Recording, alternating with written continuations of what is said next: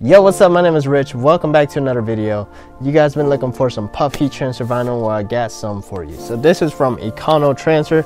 It's Econo Puff. It is 20 inches wide, so you may need a larger vinyl cutter. Or you can, I think, for like the silhouette and stuff. I might have to buy one so I can experiment with it a little more. But I believe you cut it down on a mat anyway, so you will have to cut some down. So anyways, just some puff heat transfer vinyl. This is hot pink. Uh, this is the standard pink. Um, we're gonna do one of my favorite colorways in this video, which is pink on black. And then the crazy thing about Econo Puff is that they have a lot of colors, lots of colors. So make sure you check it out. I'll have the link down below, of course. It'll probably be a pinned comment, so be on the lookout for that. But this is our heat transfer vinyl. So I'm gonna go ahead and weed it. We already got the design cut. Um, so we're gonna do the technique where it's easier to weed, which is lowering this bottom heat platen, and then we're gonna weed it on there. And I'm using so thanks to you all, I posted these tweezers a while back and um, I post a link down below. So thanks to a lot of you ladies who commented, you know exactly what these were. These are eyelash extension tweezers. These are the best thing I've found to use for weeding vinyl. So I'm gonna go ahead and put this on here, do something like this, and we'll see how this goes. Um, on this design right here, I have some small text, so we'll see how it works I noticed when I weed it, this is a little tackier than the other puff that I've used. Um, other puff, it slips, it slips like right off a little too easily. So you couldn't really do smaller text like that because it wouldn't stick onto the carrier sheet. But I find this one to be a little bit tackier, a little bit tackier, a little bit stickier, and it just might work. So we're gonna try it out. And I don't know if using this technique is too good since this is puff and it might mess it up, but I think it's okay.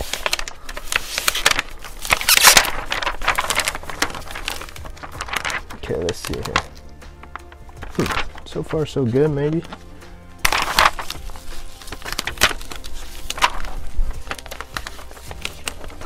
So, so far, this text right here, I wouldn't have been able to do with the other puff vinyl I've used before. Well, it, it, possibly would have been able to be done, but it would have been a little more difficult because the carrier sheet is not as sticky. This one's quite sticky, so it did pretty good. The text stayed there. Um, I noticed I'm missing apostrophe next to I and M, so I need to dig out the trash and look for it real quick. But uh, so far it seems pretty good. It just depends how well it's going to press. Let's for look for a little apostrophe real quick. It's right there. So what I'm gonna do, this is why I said the tweezers work the best, because I'm just gonna look for it, grab it with my tweezers, just like that. The focus kind of sucks, so. But just gonna take it and lay it right back on top of where it was supposed to be.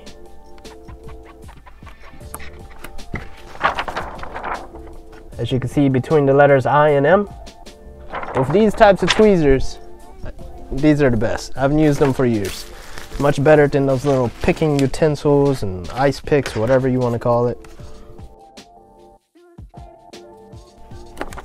This is this also is not a good position for me. This isn't my actual like work position where I weed vinyl.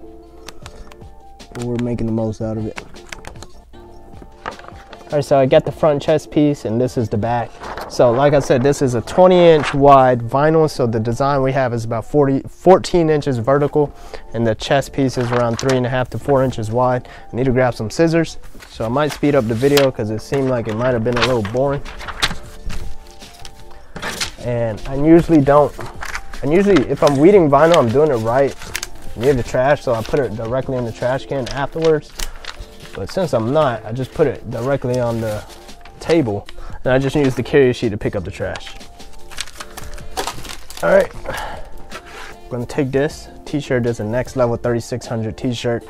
A lot of you all always ask what kind of shirt I'm wearing. I'm wearing a Next Level 3600 t-shirt. This one's probably been washed about three, four times.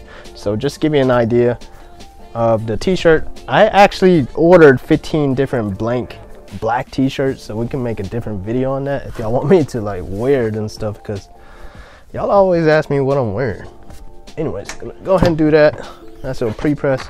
Take this, we're gonna see how well it puffs up.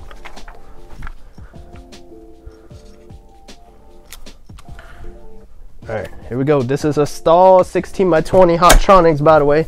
Auto pop-up, worth every dollar. And we're going for 300 to 10 seconds, I believe. Let's see it. The puff is there. I like it. Yeah. puff is awesome, man. Can you see the puff? Let me know in the comments. What is that, piece of lint? As I've stated previously, it's kind of hard to see puff on camera. But let's see if I can go like this. Looks pretty good. In person, feels great. I love puff heat transfer vinyl. It just does not feel like vinyl. It feels very premium. Now we're gonna put it on here. We're gonna do the back. The back is a large piece, so this is gonna be awesome. Nice large back piece. All right. Hopefully it doesn't press the front down. You know what I mean? Because the front is already uh, puffed up. So hopefully it doesn't mess up the front portion.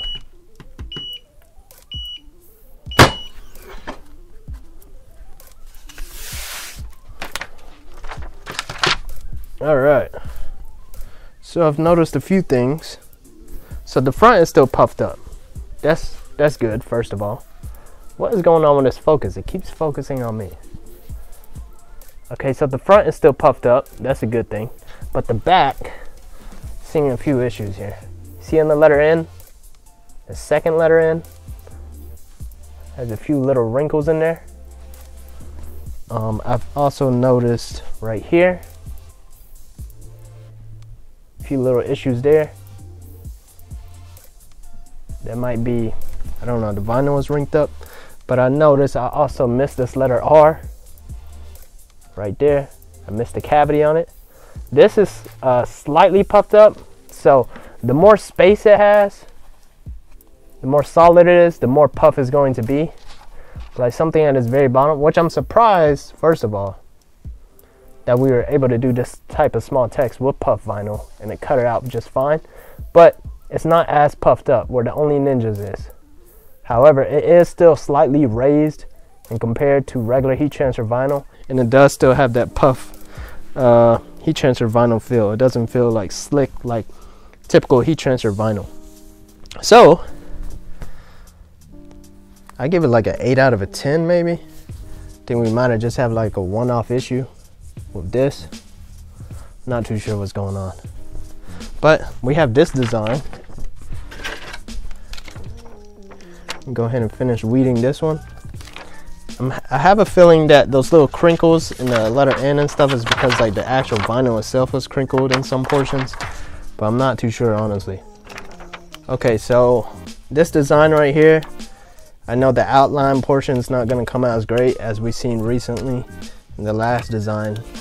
Smaller designs doesn't puff up as much. It still is slightly raised, but it's not going to be you're not going to get that full-on puff effect. So keep that in mind whenever you're creating your uh, designs. All right, so as I was saying, the part that says day sleep, it's not going to be raised as much as this bottom portion. At least that's what I figure All right, so let's, let's see how this turns out. We got another t-shirt here. Quick little pre-press. You know what also it could have been is the fact that I don't know if we pre-pressed the back on the last portion so maybe the actual t-shirt needs to be nice and flat so that we don't get those same wrinkles as we did before. All right, so there we have it. This is our second design. We might even cut out another one just to see if we can fix the letter N.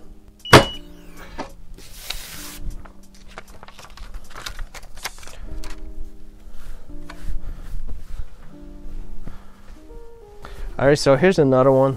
This one looks pretty cool, but still having these little issues. See on the letter T and the letter E on the upper portions, there's like slightly wrinkled areas. But honestly, for me, it's not too bad of an issue.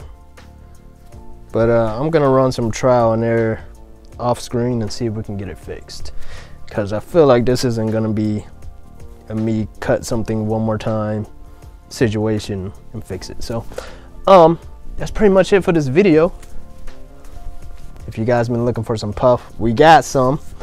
We just have a very small issue. Don't know what it is. The front came out just fine. Front looks dope. And then the back, for the most part, is dope. You can't tell from afar. It's only if you're up close, you'll see the little wrinkles. But we'll work on getting that fixed. But if you're looking for some puff heat transfer vinyl and you can't find it anywhere else, Econo Puff has it. Let me know if you guys have already experimented with this and let me know what you guys think about it.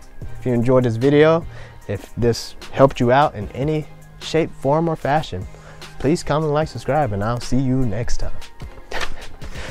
Peace. Hey Hustle Ninja, thanks for watching. Remember, if you want to support the channel and have the chance to win a giveaway to help your clothing brand, be sure to check out onlyninjas.com. Also, make sure you like, comment, and subscribe. And stay hustling.